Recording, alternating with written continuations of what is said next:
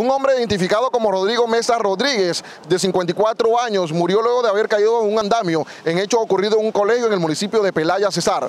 La víctima fue trasladada a Medicina Legal y Ciencias Forenses. Un hombre identificado como Rodrigo Mesa Rodríguez, de 54 años, perdió la vida este martes en medio de un accidente laboral en el municipio de Pelaya, Cesar, según se pudo conocer. De acuerdo a las autoridades, el antes mencionado se encontraba realizando arreglos locativos al colegio integrado de ese municipio, donde cayó de un andamio de una altura aproximada de 18 metros. Al quedar lesionado de inmediato sus compañeros, lo trasladaron al hospital Francisco Canosa, el cual minutos más tarde falleció por la gravedad de las heridas, según conoció CNC Noticias. Funcionarios de la policía se trasladaron a la zona e hicieron las indagaciones de lo ocurrido. Posteriormente, el cuerpo de la víctima fue inspeccionado y trasladado a la morgue del Instituto de Ciencias Forenses de Medicina Legal en Aguachica para la necropsia de rigor.